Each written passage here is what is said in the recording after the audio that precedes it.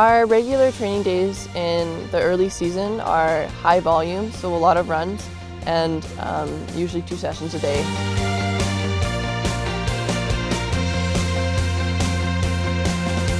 I think luge is very mental and so before we do a run, we do a visualization run which we just go through each corner and just like think about what we're gonna do and it just gets you in the zone and yeah.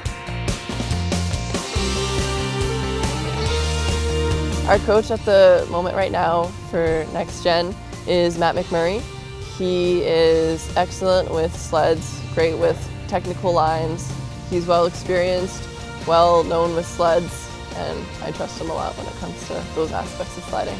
Ideally, I'd like to get them faster at the start, you know, improve their physical strength, flexibility, and overall power output for the start, so that way we can have the fastest advantage we can at the start.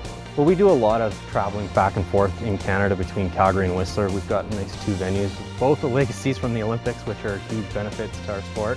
So we try to utilize those in developing our athletes so that way we do trips away, back and forth, so that way they get an experience of what it's like to be without their parents for one to two, two weeks at a time. And, uh, get them the experience of what it's like to be away and you know they got to balance school, homework, friends, along with everything they need to do for sliding.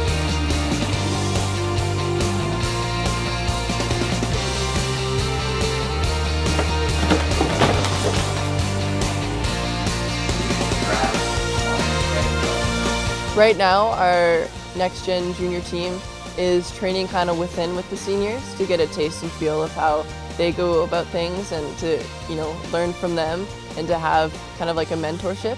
So our group is split into two right now and we're training off and on with them. And it's, it's really nice to see them and to see how they work. I'd say my personal role model is Alex Gough. She's like the pinnacle of Luge Canada. She's an amazing athlete and a really cool person. Yeah.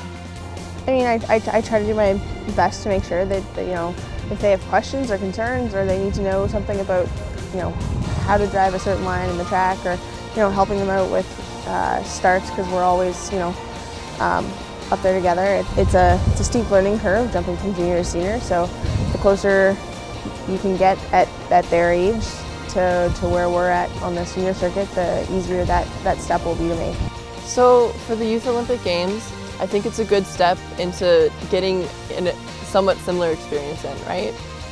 And just an excellent environment to train in. It's such an exciting, you know, idea and goal to shoot for right now, right? 2022 is so far in the distance. It's nice to have something that you can aim for right now that kind of breaks you into, you know, the real world of sliding.